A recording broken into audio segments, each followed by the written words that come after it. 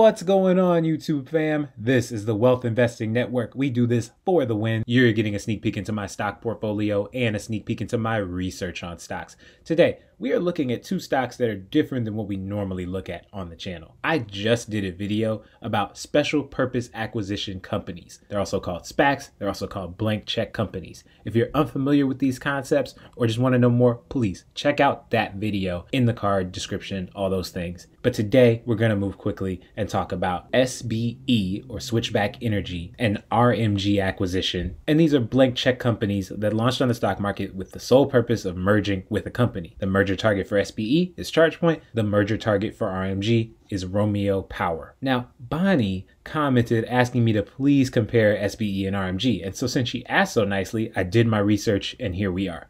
I really do read the comments because this isn't just a channel. This is a conversation. If you want this to grow, please hit that like button, turn it blue, and hit that subscribe button if you haven't already for that YouTube AI. I really hope that Bonnie and all of you out there watching have hit the subscribe button. So let's start with SBE and ChargePoint. I'm long ChargePoint stock. I have about 15 shares in my retirement account. Here is the full stock chart for SBE.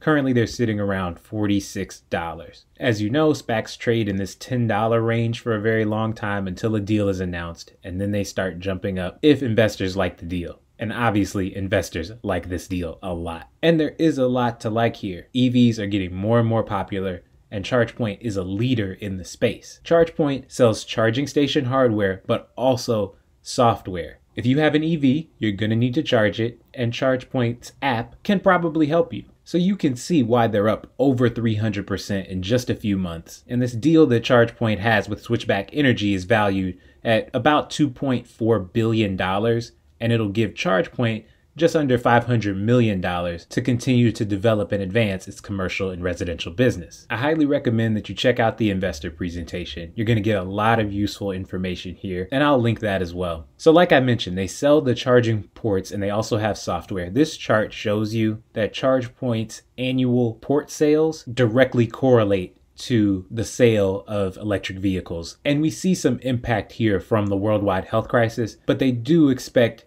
electric vehicles to be about 10% of the market by 2026. And by that point, ChargePoint expects their revenue to be in the billions of dollars. This slide exemplifies their track record, where they started with just kind of being in the workplace to also servicing fleets and residential, and they've really scaled up from 2016 just being in the US and Canada to now being in several countries. And going forward, they expect to be in many more. And I've said before to take investor presentations with a grain of salt because they are trying to present themselves as best as possible. I noticed that they don't mention Tesla very much here, but what I like about this investor presentation is that a lot of this isn't based on the future. A lot of this is happening right now. 2020 is going to have an impact on ChargePoint due to the worldwide health crisis and a little bit of a slowdown with EVs, but it is expected to accelerate. And last year in 2019, ChargePoint had revenue of $145 million.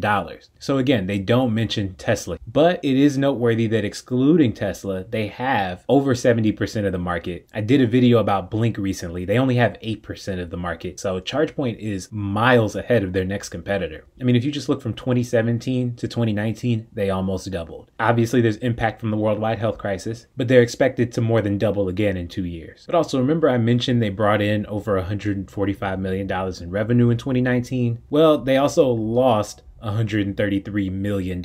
So they spent more than they brought in. But this is common for growth industries. And so some numbers that I'm looking out for with ChargePoint is their gross margin. I want to see that improve like they expect it to because if their gross margin improves, then hopefully they won't be bringing in these huge losses. I want to see what they report as a loss in 2020, and after the deal closes, how does it change their margin? Is this $500 million that they're getting from this deal going to help them better their business in a way where they can get their margin up and become profitable? I'm long this stock at an average cost of around 13 or 14 dollars i don't know if i would want to buy more at 45 46 i would want to see what the final valuation is going to be so that i can analyze their revenue their price to sales and the things that we normally cover on the channel okay Let's move on to RMG acquisition that will soon be Romeo Power post merger. Again, RMG traded around $10 for a long time until they announced their merger target. And as you can see, they've shot up to about $34 a share. Romeo Power designs and manufactures lithium ion battery modules and packs for commercial electric vehicles.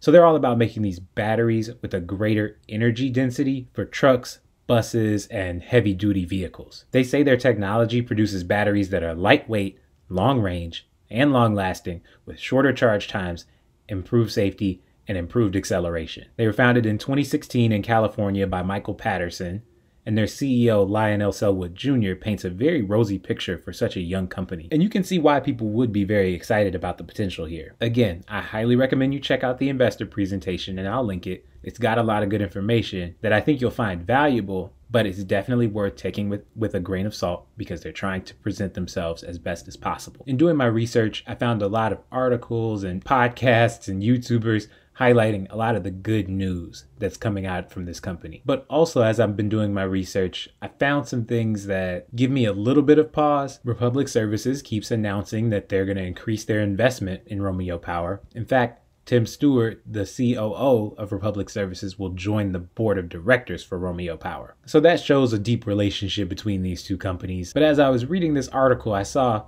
Nikola and Republic Services in collaboration on refuse trucks. So let's take a look at that. So Nikola and Republic had announced what they had described as a binding contract in August, and Republic said they would buy as many as 5,000 trucks. They're trying to scale up, they're trying to go electric they're committed to that and that's great. But obviously republic services didn't do enough research about nikola planning an investment between 1 and 2 billion when now the ceo of nikola trevor milton had to step down because they potentially lied about their technology. And remember i'm not a financial advisor and this is not financial advice. These are just my opinions and it seems this is a bad look for republic services about who they choose to make deals with. And now that part of the republic services team is going to be part of the team with romeo power I don't know how well that bodes for Romeo Power. I would just say I need more information. And so, speaking of huge deals, Romeo Power has another multi year deal with Lion Electric, another company that's chomping at the bit to get into this battery technology. The contract is expected to generate $234 million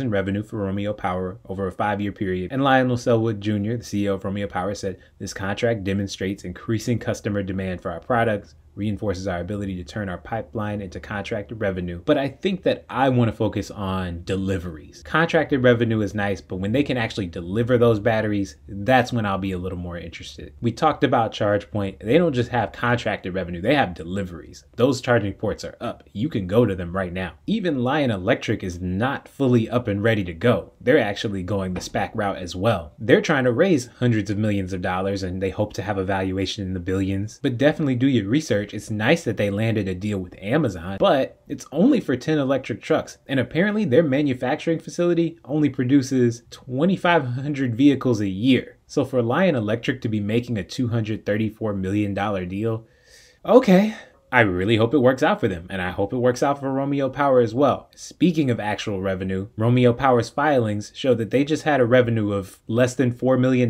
in the first half of 2020, paired with a net loss of almost $14 million. And the year before that, they had a revenue of about $2 million, and they lost $38.5 million.